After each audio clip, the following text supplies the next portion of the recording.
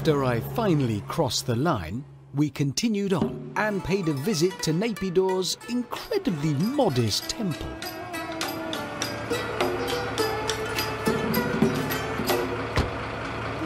Can we go up? Yeah? Up there? Can we go and have a look? Okay. No. Shoes. Take your shoes. No shoes. We'll get wet feet. Hello. Okay. I'm telling you, Buddhism is the way forwards. Okay, yes, okay. Oh, is that? I'm taking them off. That's my feet. No people from Birmingham. Nobody from Birmingham is there. I'm- Oh, I'm- you going to wear a skirt. You can't show your legs. You can't show your knees. Knee, is it knees? What do I do with this? Is it knees? No knees I've and no. got sh- knees. I've got. Oh, oh, right. Put this skirt on, boy. Oh, okay. Sit rep. Richard Hammond is wearing a skirt.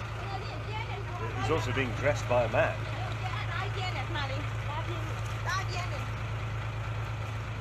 Can we go? Is it okay?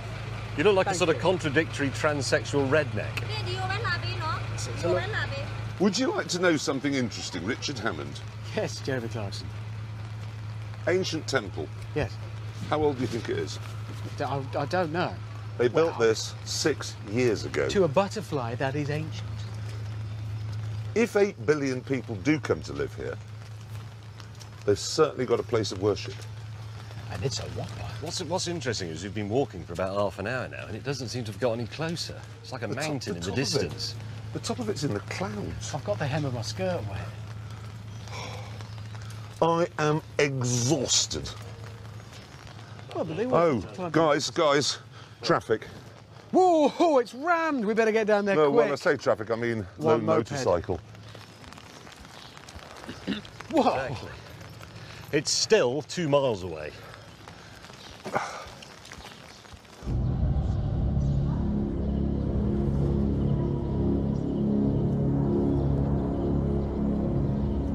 The inside was as mind blowing as the outside. And after drinking it all in, we got back on the road.